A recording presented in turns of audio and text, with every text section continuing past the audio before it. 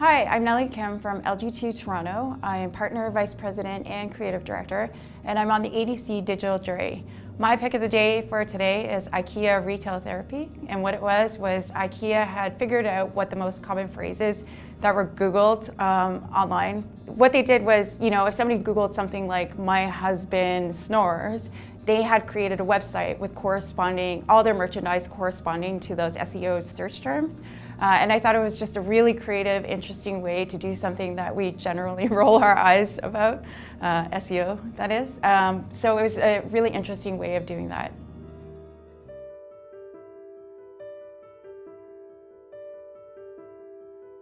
IKEA's products have always been inspired by how people live in the real world there's a variety of everyday dilemmas that can be solved or improved by our products.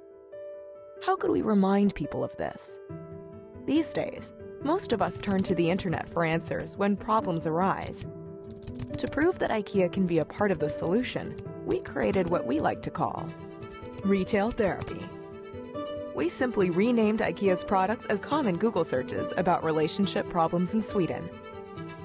When you Googled your problem, you found an IKEA product with the exact same name on a site identical to IKEA's main shopping site. A product that might help you improve your relationship at home. So, whether it's a snoring husband, a never ending gaming son, or any other relationship problem you have, IKEA can come to the rescue. Or at least put a smile on your face while you keep Googling for an answer. The results were overwhelming. SEO might be as boring as it gets, but this campaign was something else.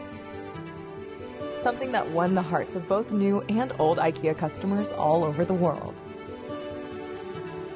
Even Google themselves praised the initiative on Twitter.